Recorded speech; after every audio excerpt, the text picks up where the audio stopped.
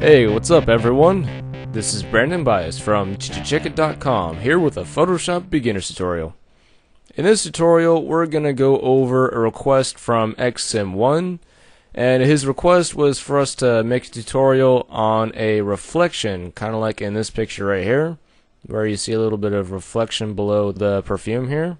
And he was also wondering if we could teach you guys how to make it in a 3D perspective, kind of like in this picture. As you can see, it's got a little bit of a 3D effect going on over here. And that's really not a big deal, so let's get right into it, shall we? Let's open up Photoshop. And as soon as you guys have that open, go ahead and start up your new document. Like usual, I'm going to stick with a 1280 by 720 resolution, but this time I'm going to go with a white background and hit OK. And before we go into any actual 3D perspective kind of stuff, I'm going to give this background a little bit of a gradient to make everything look a little bit more interesting. So we're just going to unlock this background layer right here by double clicking the, the lock or just on the layer in general. And just for kicks, I'm going to name it BG for background. And let's give it the gradient, shall we? Go to the effects icon down here, give that a click, and we're going to give it a gradient overlay. And just stick with the normal settings, but lower the opacity to about 25% so you get a nice uh, light gray to white gradient right here and we'll just hit OK and close this up. And now we're gonna jump right into this. So I'm gonna simulate this effect just with a little bit of text. So I'm gonna grab the text tool and make it nice and big and type the word reflection and hit OK or enter or whatever it is that you want to use. And we're just going to grab our move tool and position reflection uh, right about here. And what we're going to need in order to make the reflection is an upside down duplicate of the word.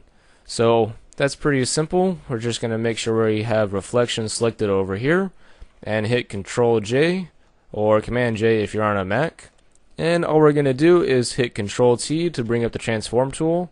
If you're on a Mac, go ahead and hit Command T and right click where you have your little box and go to flip vertical Click and drag this down while holding shift until it kind of matches up with the bottom of your word like so. And once it looks alright, go ahead and check mark it or hit enter. And so now that we've got our upside down text, all we got to do is make it fade out, right? So that's pretty simple. Just make sure you have your copy selected and give it a layer mask by clicking this icon right here. Should say add layer mask. Give that a click and you'll get a new thumbnail right here for adding masking. And just to keep it simple, we're just going to grab our gradient tool over here and make sure we have our default black to white gradients and make sure it's this gradient right here, not one of these other gradients because that'll give you a, a slightly different effect.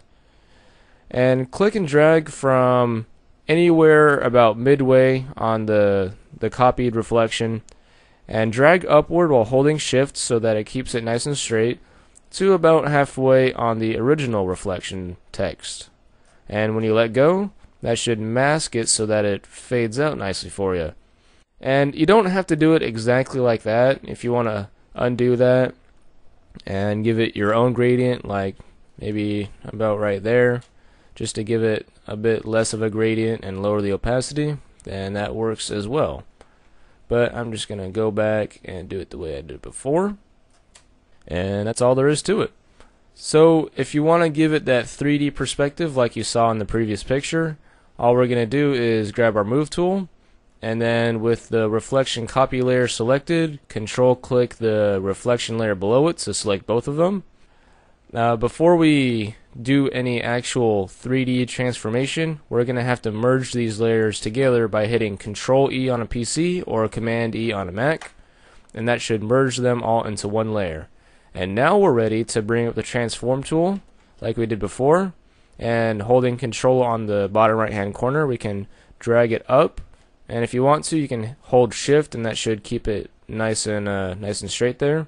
And then bring the top right corner down a little bit. and that's already given it a slightly 3D perspective, but it looks a little bit stretched. So if you go over to this center left uh, box right here, hold control and bring that in towards the right until it looks uh, looks about right. And then go ahead and just check mark it or hit enter and drag your layer into the center and you're pretty much done. So if you want to add any effects to this, make sure you do so before you actually add the reflection and all and all that good stuff. But keep in mind that this effect isn't only for text, you can do it with just about anything, like a picture. So just for demonstration purposes, I'm going to bring in a picture of Eli's weird monkey thing. And it's sideways, so I'm just going to go to image, image rotation, 90 degrees clockwise. And I'm going to cut out this monkey real fast. And if you don't know how to cut something out, then go ahead and go to our masking tutorial. And while you guys are checking that out, I'm just going to cut this guy out real fast. Let's get right to it.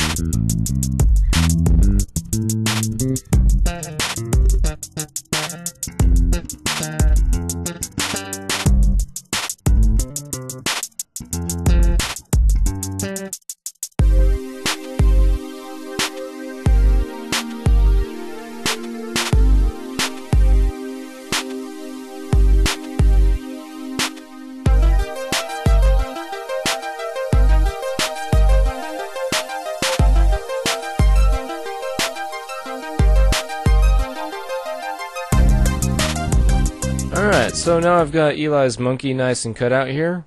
And I'm going to give it a little bit of a background real fast by creating a new layer. And just going to drag it below the, the monkey right here. And I'm going to fill it up by hitting Control Backspace because I have white as my background color down here. And I don't really need a gradient on it, so we'll just jump right into giving this monkey reflection. I'm going to drag this up a little bit with my move tool and I want to flatten out this bottom just because it's a little bit choppy.